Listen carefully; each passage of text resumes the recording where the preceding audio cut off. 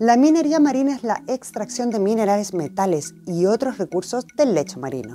Esto puede incluir la extracción de minerales como el oro, la plata, el cobre, el zinc, así como materiales como los nódulos de manganeso y los sulfuros polimetálicos que se encuentran en las profundidades oceánicas. Sin embargo, hay quienes no están a favor de esta práctica. ¿Por qué? Hola, soy Camila Ríos y te lo contamos en Express Release de Más Container.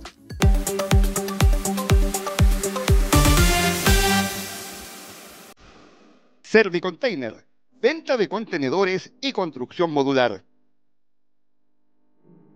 La minería marina puede realizarse de diferentes maneras, incluyendo la extracción de minerales del lecho marino utilizando equipos especializados, la extracción de minerales de las aguas superficiales mediante el bombeo y la filtración, o la extracción de minerales de fuentes hidrotermales submarinas. Sin embargo, esto plantea numerosos desafíos y preocupaciones, incluyendo el impacto ambiental, la destrucción de hábitats marinos, la contaminación del agua y los sedimentos, y los posibles conflictos con la pesca y otras actividades marinas. Por lo tanto, su desarrollo está sujeto a regulaciones estrictas y a una evaluación cuidadosa de sus impactos potenciales. Por lo mismo, mientras que algunos países presionan para que se inicien proyectos de minería que permitan obtener minerales preciosos de los fondos marinos, otros, incluidos varios de América Latina, están jugando un papel clave en las negociaciones internacionales para impedirlo.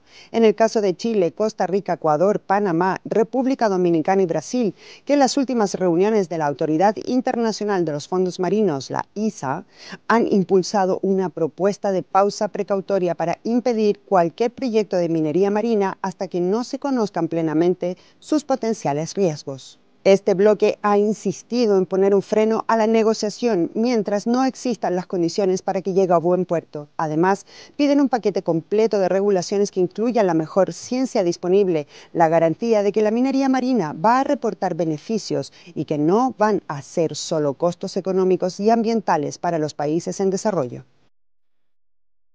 LATAM Logistic Chile, expertos en el mercado asiático. En este contexto, ¿cuál es entonces la propuesta que fue presentada por este grupo de naciones? Te lo contamos en Express Release de Más Container. Fresh Cargo, especialistas en carga refrigerada en Ecuador y Latinoamérica.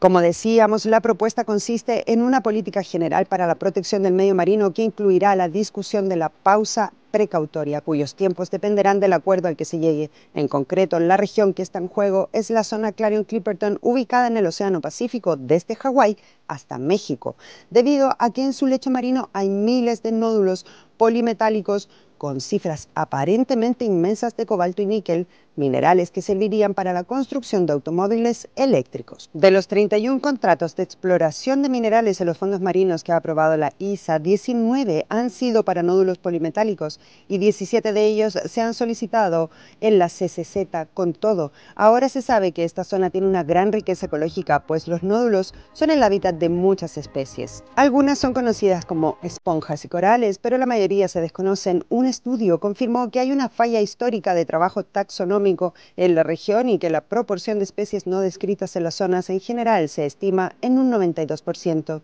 Es necesario entonces que los países de Latinoamérica que aún no se han pronunciado públicamente en contra de la minería marina lo hagan.